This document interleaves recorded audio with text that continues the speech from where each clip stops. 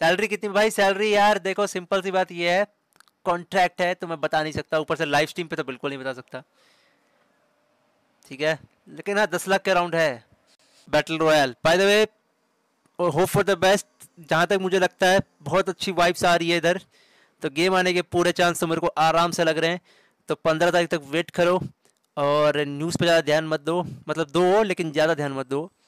और जब गेम आएगी तो तहलका मचाएगी क्योंकि देखो, इस बार जो ई स्पोर्ट्स का रोड मैप है ना, इतना खतरनाक है ना, इतना खतरनाक। Maxton versus bathroom cleaner